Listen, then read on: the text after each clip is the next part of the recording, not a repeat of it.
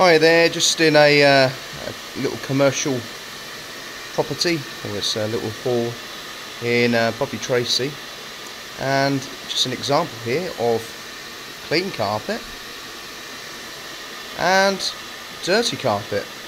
And when I say dirty carpet, it is really dirty. Let's have a look at this down here. Yum lots and lots and lots of tea and coffee stains. But it's coming up a treat.